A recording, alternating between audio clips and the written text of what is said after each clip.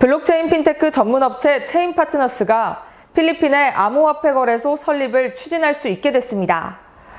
체인파트너스는 26일 필리핀 중앙은행으로부터 암호화폐 거래소 설립 인가를 획득했다고 밝혔습니다. 필리핀 중앙은행은 엄격한 자금 세탁 방지 규정을 마련한 사업자에게 암호화폐 거래소 운영을 허가해주고 있습니다. 또한 법정화폐와 암호화폐 간의 환전, 해외 송금, 외환 딜링 업무까지 허용해줍니다. 지난 2017년 인가제를 도입한 후 올 3월까지 8개 업체만 인가를 받아낼 만큼 규정이 까다롭습니다. 체인 파트너스는 내달 한국법인 100% 지분을 소유한 체인 파트너스 필리핀 주식회사를 설립하고 본격적인 영업에 나선다는 계획입니다. 체인 파트너스는 필리핀의 암호화폐 거래소 운영과 함께 법정화폐와 가상통화 간 환전, 해외 송금 사업 등 BSP 허가가 난 항목은 모두 실사업으로 추진할 방침입니다.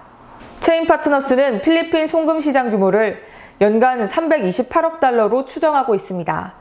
아직까지 체계적인 송금 시스템이 갖춰지지 않아 저렴한 수수료의 블록체인 기반 송금 서비스를 출시할 경우 시장에 반향을 일으킬 것이란 기대입니다. 현재 관련 송금 시장은 무허가 비트코인 송금이 횡행하고 있습니다. 체인 파트너스는 합법적인 사업자 신분으로 경쟁업체들보다 유리한 위치를 점하게 됐습니다.